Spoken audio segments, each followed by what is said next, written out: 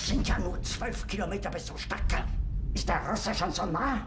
Man müsste die ganze Luftwaffenführung sofort aufhängen! Also mal im Ernst, Fegelein. Ich werde wohl die Sache selbst in die Hand nehmen müssen. Berlin wird fallen und das in wenigen Tagen. Wenn der Führer tot ist. Das sind doch alles hohle Phrasen! Wir müssen jetzt handeln! Wir jetzt sofort wissen, ob die Gesamtlage es wahrscheinlich macht, dass Wenk noch eingreifen kann. Wie bitte?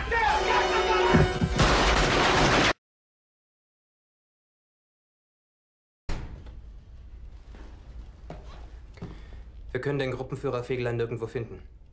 Er ist nicht in der Bunkeranlage. Was soll das heißen? Sie können Fegelein nicht finden. Dann suchen Sie ihn eben. Ich will Fegelein sehen. Sofort! Wenn er sich ohne Befehl entfernt hat, ist das Fahnenflucht. Verrat! Bringen Sie mir Fegelein! Fegelein! Fegelein! Fegelein! Große Verantwortung liegt nun auf Ihren Schultern. Sie müssen die Luftwaffe vom Grunde auf umkrempeln. Es wurden viele Fehler gemacht, seien Sie unerbittlich. Das Leben vergibt keine Schwäche. Die sogenannte Menschlichkeit. Das ist ein Geschwätz der Schweinepfaffen. Mitleid ist eine Ursünde. Ich sage immer, Mitleid zu haben mit den Schwachen. Ist Verrat gegen die Natur. Das Starke kann letztlich nur triumphieren, indem es das Schwache ausmerzt. Ich selbst habe mir diesem eisernen Gesetz der Natur gehorchen stets jedes Mitgefühl versagt. Ich habe die Widerstände im Innern wie die Gegenwehr der Fremdrassigen immer mit brutaler Härte eiskalt niedergeschlagen. Anders kann man das nicht machen. Die Affen zum Beispiel trampeln jeden Außenseiter als gemeinschaftsfremd tot. Was für die Affen gilt, muss doch in erhöhtem Maße für den Menschen gelten.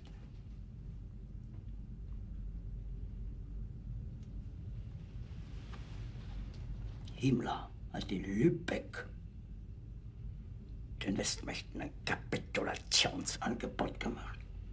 Bei der Grafen Bernadotte. Der englische Rundfunk berichtet das.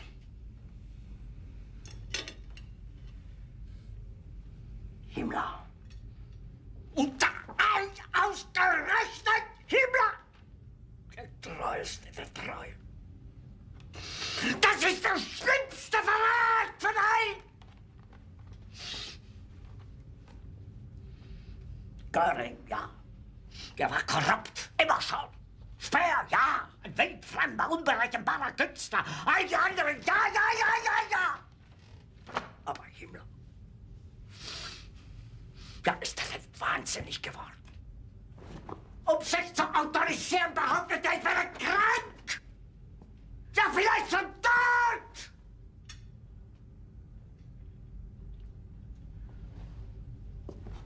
Bitte, lassen Sie mich mit Ritter von Greim und Fräulein Retscherlein.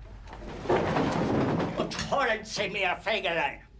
Mein Führer, wir wissen nicht, wo er sich im Moment aufhält. Was soll das heißen? Er ist Himmlers Adjutant. Er muss zur Verfügung stehen.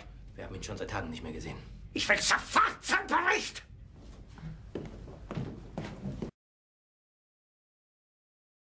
Mein Führer, dann ist die 9. Armee verloren. Wir werden die im Norden und Osten bis an den äußeren Verteidigungsring vorstoßenden Sowjetverbände in einem rücksichtslosen, mit aller Kraft geführten Gewaltschlag zurückwerfen. Mit welchen Kräften, mein Führer? Die Gruppe Steiner wird von Norden her angreifen und sich mit der 9. Armee vereinigen. Die 9. Armee ist nach Norden hin bewegungsunfähig. Die Feindkräfte übersteigen unsere Mannschaften um ein Zehnfaches. Wenk soll mit der 12. Armee die Sache unterstützen. Aber mein Führer, die 12. Armee marschiert nach Westen, Richtung Elbe. Dann soll die Armee kehrt machen. Dann entlösen wir die Westfront. Haben Sie noch Zweifel an meinem Befehl? Ich glaube, ich habe mich klar genug